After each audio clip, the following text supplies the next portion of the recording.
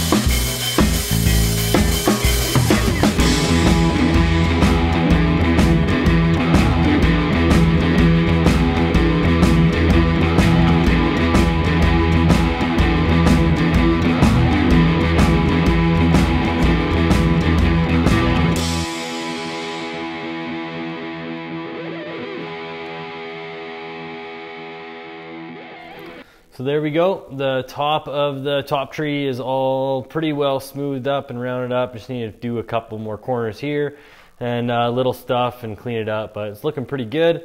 Um, we're going to leave that there today. Next time we're going to start rounding off the whole bottom and then we will get started on the bottom clamp. Thanks for watching.